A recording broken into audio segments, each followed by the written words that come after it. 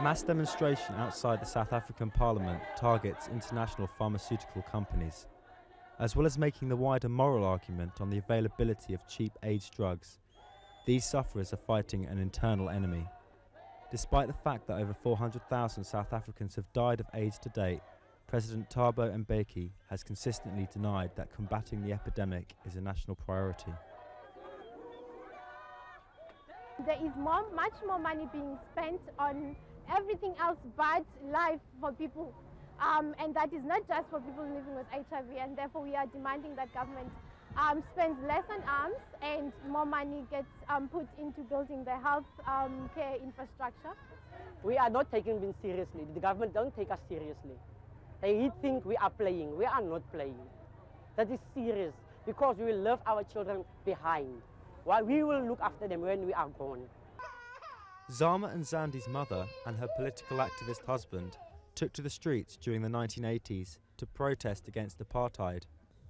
The twins' father died of AIDS, leaving his HIV positive widow to bring up the children. She no longer has the energy nor the resources to join the protesters, but is bitter towards Mbeki. He knows where we come from. We were there to help him to be the president. So why not he can help us to be healthy? We are the South Africans, so he have to help us. We don't have to die, but he, there is a chance not, not, not to die. Because they say they, there is a medicine. Her twins are HIV negative, saved like thousands of others through a short course of antiretroviral drugs given during labour. A project which was implemented by Cape Provincial Government in defiance of national government policy. But the stigma attached to AIDS is still so great, neighbours turn on sufferers in their midst. If they found out you are HIV positive, they don't treat you like a human being, like you are healthy, they think you are poisonous.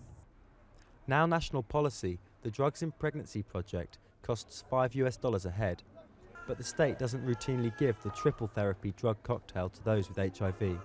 If there's a country that knowingly fails to protect and help its people when they are dying of a treatable illness, then we should consider sanctions against that country.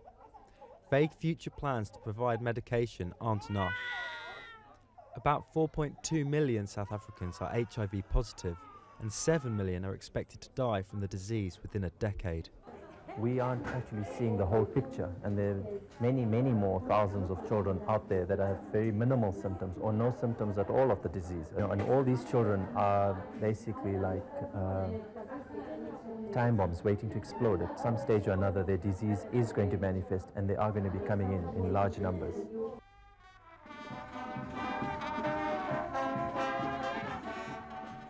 Many South Africans have denied the existence of AIDS, a situation which is beginning to change as the death toll mounts, even among children. The festivities at this Johannesburg school are in celebration of a little boy's birthday.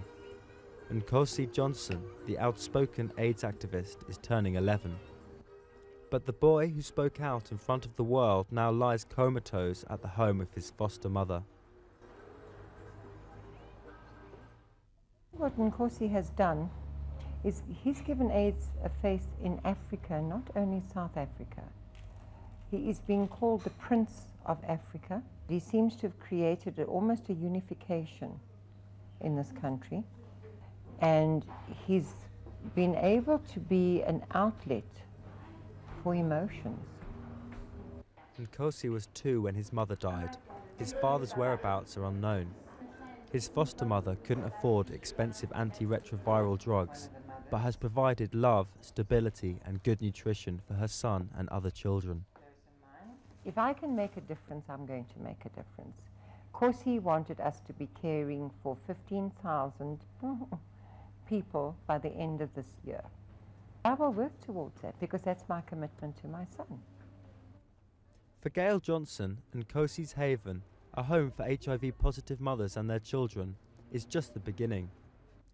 It will require many more similar homes to provide for the tens of thousands of women who carry the burden of supporting families infected with the virus. Most of our women, they like from an abusive situation. And people don't stay into that situation because they like it. They stay because they need something into their stomach. They need a roof on their head. So they, they stay in that situation just for survival. But the women, for them to know that they're infected, it's only when they go for a test, if, if they decide, of which is very rare, but mainly during their pregnancy, when they go in for the antenatal visits. But men, no. And mainly the blame is put on a female. That's why the rate is so high. The shelter can only survive through donations and international support. Here, mothers can comfort each other and share the burden of knowing that their children will be orphaned. Nkosi's wish is that HIV positive mothers and their children do not have to face the threat of premature separation. AIDS will orphan an estimated 4 million children by the year 2005. It's the only place that accommodate marriage, one. And secondly, that uh, it's keeping us safe because you're vulnerable by the time you are positive and you don't know where to go, you don't have money to look after yourself and things like that. So you just end up being at another man's house where you reinfect yourself again. For Rosa and her son Ismail, both carry the HIV virus. She is very ill, he is yet to show symptoms. Medication which would allow them to lead normal lives is available. Without it, she is struggling to hold on. I try to talk to him, and he doesn't uh, take it in easily. He always tell me like he'll pray for me so that I must be better. And sometimes he makes me feel that I need him and he needs me the most. So for him, it's sort of an encouragement to carry on living because without him, I would have given up a long time. So it's still when I look at him and think, oh God, I can't leave this poor child like this. I know he will be cared for, but I mean, don't be the same without his mom. The sad part of, of HIV is there's no reverse. There's no doubt about it. Once you're positive, that's why some people, mainly the, the males, they cannot stand to like being after being diagnosed and think, oh, I'll live with it. They commit suicide. And with the females, mainly they think of their kids. For them not to commit suicide, they think, oh my gosh, my child then will think I've been a coward. And then they want to die leaving their, their, their, their kids in happy hands.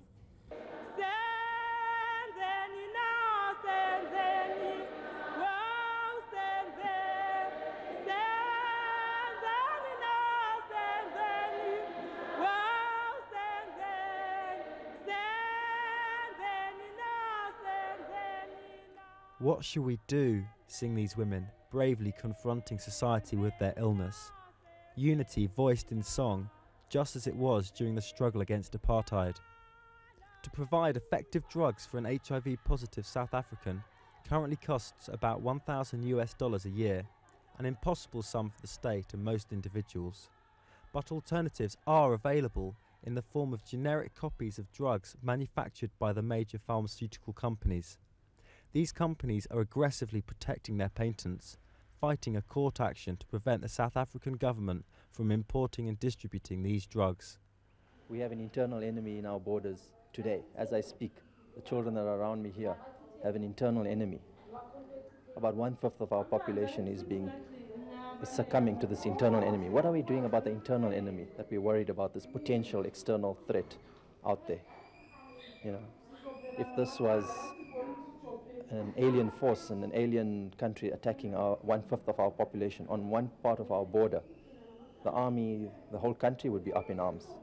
You have a responsibility, A, as a mother, B, as a woman, and C, as a South African. If, if this is happening, how can we keep quiet about this? How can we watch these babies dying? How can we watch children and women getting raped and keep quiet about it? Because if we keep quiet about it, then somehow we're accountable. If the government wins the legal case, it could import drugs from India or Brazil. Intellectual property rights don't address human misery. Nomfumelelo, which means success, is just 26. She's dying and will leave behind two daughters. We are, we are the family because we are four. Yeah. Build a house for three, three bedrooms, one for the other twin, one for the other twin, and one for us and to be to bring them the I don't know. But we dream of good things like they will grow up in a family. Difficult to talk about that because it can happen.